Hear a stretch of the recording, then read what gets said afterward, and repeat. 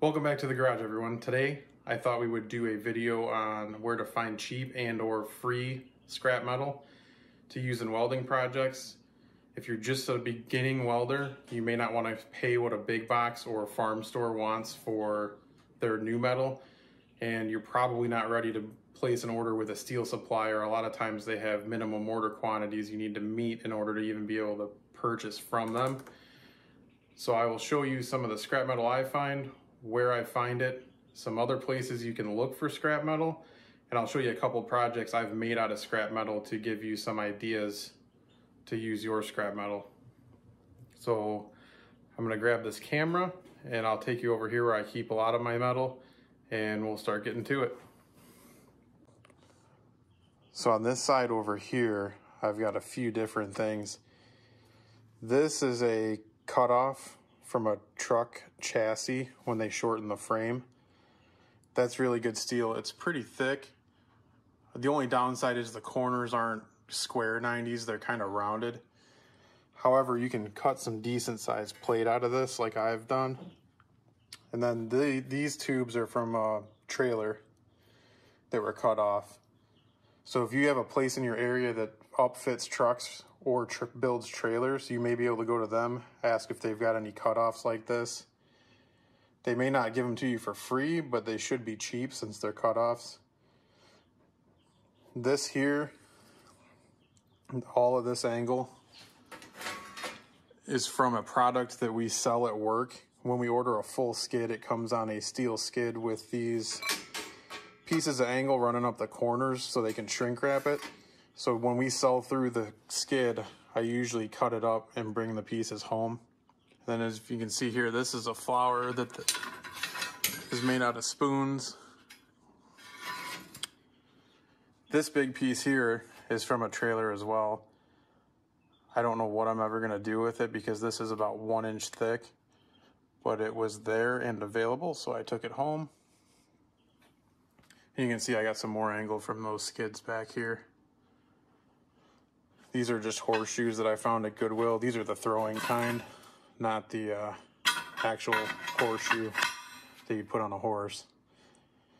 And I've got some other pieces of angle stuck in here and some other odds and ends that I've just found.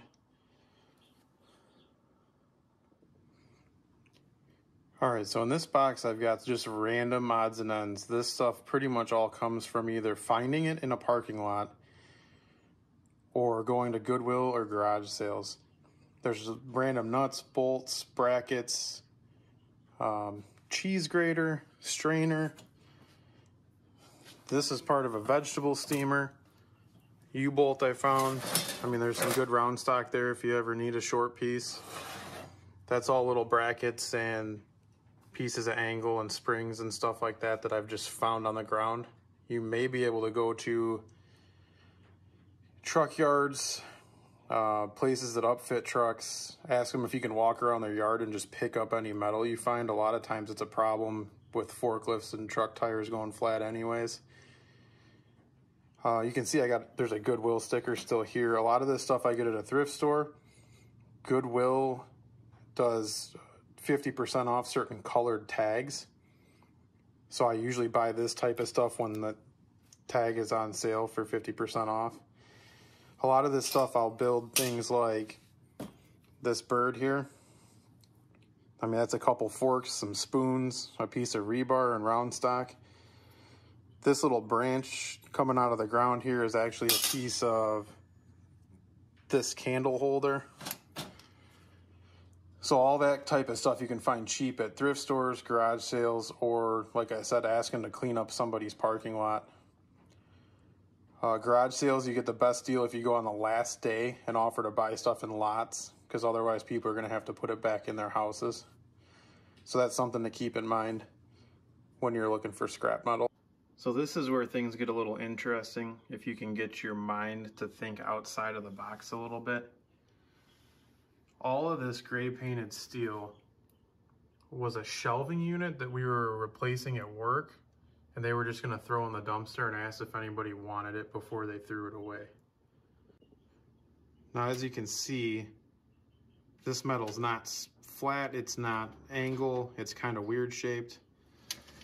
This is angle, however, it's got these notches in it where some of the shelving pieces fit together. And then this is kind of an angle, but they're pretty wide on one side and short on the other. But if you can get yourself to think about the pieces that make up a shelving unit or things along those lines, you can actually find a lot of metal. All right, so we're back up top here for some of these longer pieces that I've got. So this angle iron I've got here, this is actually a, an old bed frame. It's actually our old bed frame. It's actually very strong steel. However, it's a pain to drill into. If you're looking for those, you can find them at thrift stores, garage sales. Garbage night's a good night to go looking for metal stuff on the curb even apartment complexes, if you go towards the end of the month and check out the apartment's dumpster area, you may be able to find stuff like this. People that are moving out don't want to take it with them. And then over here, I've got some real long angle iron. Once again, this is actually from a truck upfitter. When the chassis come in, they don't have anything on the back of them, so they need somewhere to put tail lights and mud flaps for them to be legal to drive. So these are what mud flaps and taillights are bolted to, and they're almost eight feet wide, and it's pretty thick. I think it's quarter inch, quarter inch thick angle. So I mean, that's another thing to check if you do have a truck upfitter or something like that, or a trailer manufacturer near you. It's a really good place to make a good relationship with somebody that works there so you can get access to this kind of stuff. I can actually get almost as much of this as I want um, within reason.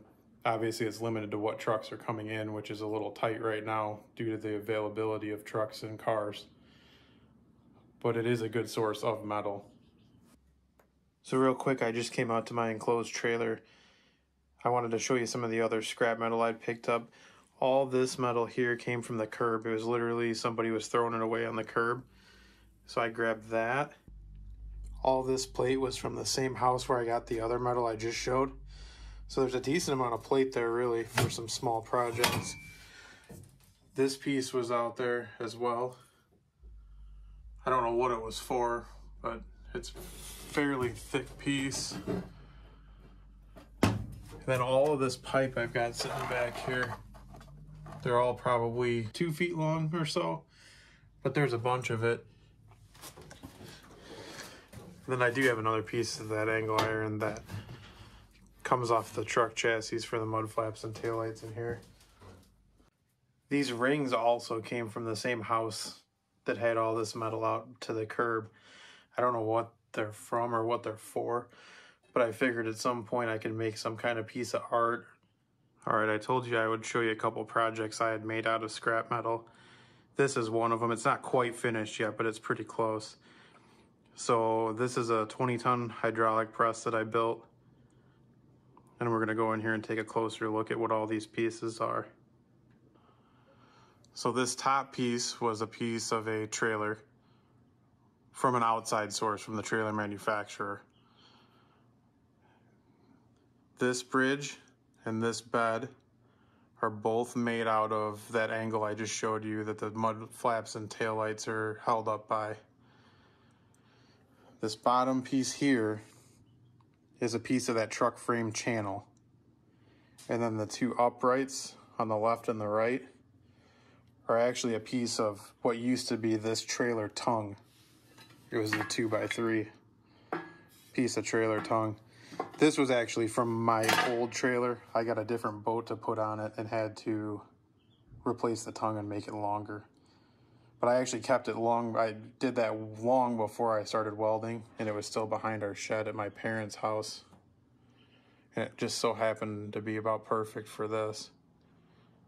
So the only things that were purchased for this was the bottle jack. There's a nut and a bolt here for different attachments. And then these two pins to adjust the bed all the rest of this was scrap metal that I found and didn't pay anything for. Another thing I made out of scrap metal is this gate to get underneath this chicken coop.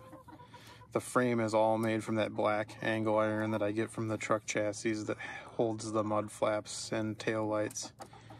Obviously I had to buy the hinges and the latch. The netting is just chicken wire and netting that I had from doing the rest of this project. On this side of the coop, I made both of these shelf brackets for the water bucket.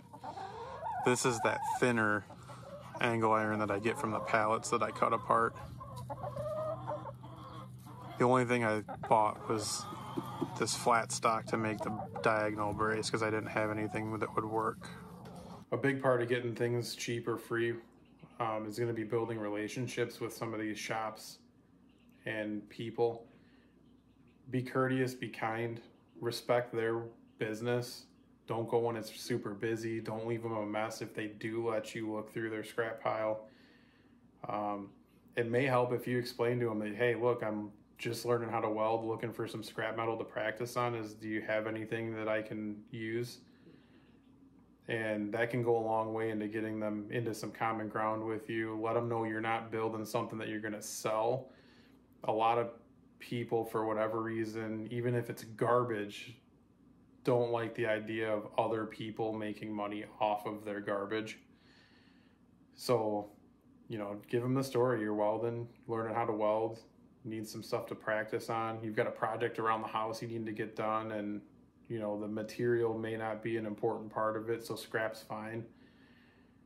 Give them a little bit of a story to get them to connect with you a little bit and start building that relationship and that may last for years into the future if you play your cards right. If you're going to be hitting garage sales for some of this stuff, check with your local towns. They usually have a citywide garage sale weekend where everybody kind of jumps in and has a garage sale so you can hit multiple in a day.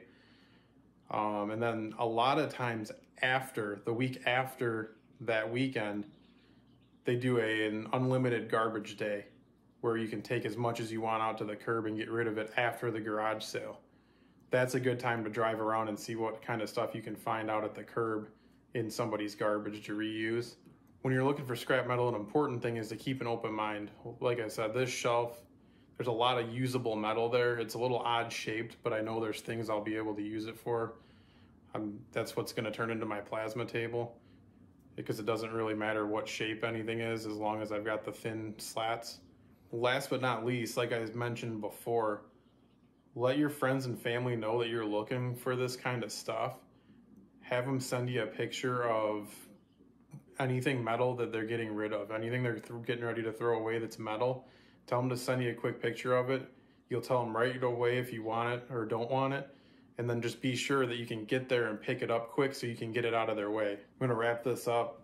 I hope you got some valuable information out of this video.